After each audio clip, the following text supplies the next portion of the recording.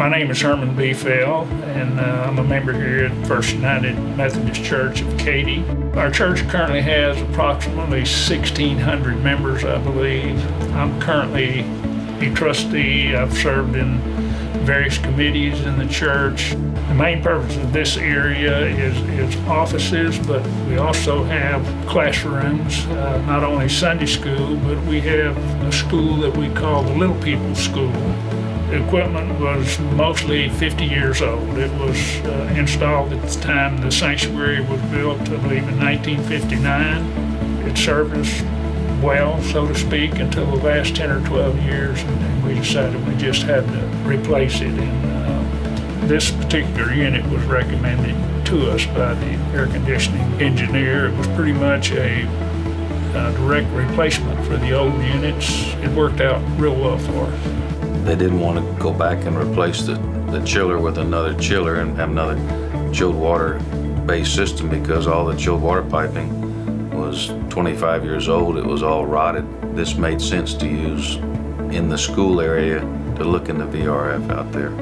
The teachers all like their classrooms at different temperatures and they hold classes at different times. It's easily to program when the units were cooler or when they were off or on, in the unoccupied mode. So it's so flexible and you know when you don't have a lot of room to run duct work or you're in an existing building and there's all kind of obstacles in your way that you know this has so many different components you can use and mix and match.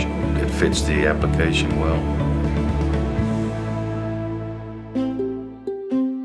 It was very easy for us to come in there during the demolition and to just shut the whole system down, drain it down, and come back with our VRF piping and use the same type of routing that they did, coming up almost through the same openings that they used and go right into our units, which were in the way exactly the same place that the existing units were. Just was beautiful the way that it worked out.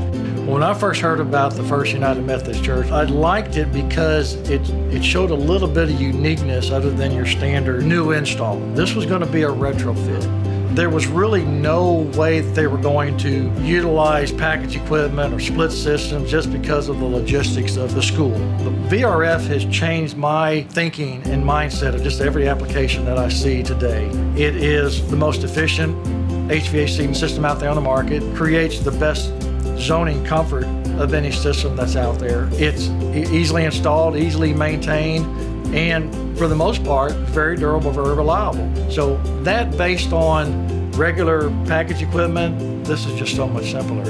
If we had had to go back with the chill water, hot water system, you would have been dealing with four different manufacturers, the boiler, pumps, chiller, and controls. This way with VRF, you're dealing with just one manufacturer. And that to me is the most important thing.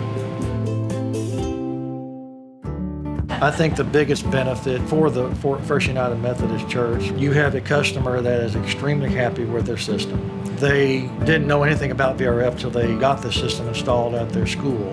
There's no maintenance, there's no service calls, it works flawless. The installing contractor, Polar Air, they went through their warranty phase with zero work that they had to do.